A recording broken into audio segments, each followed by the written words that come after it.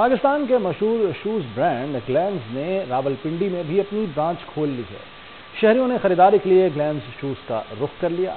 माकूल कीमतों और आला क्वालिटी को खूब सराहा गया। तफसीत इस्लामाबाद से गौहर महसूस की इस रिपोर्ट में।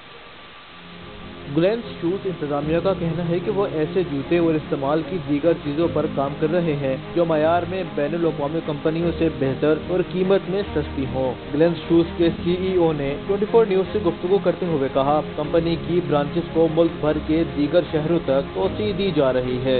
यहाँ पे हमने बैंक बैंक रोड, रावलपिंडी में हमारी आज ब्रांच की ओपनिंग है। इसके अलावा हम जी टी रोड पे राफे मॉल में भी हमने एक ब्रांच ओपन की है।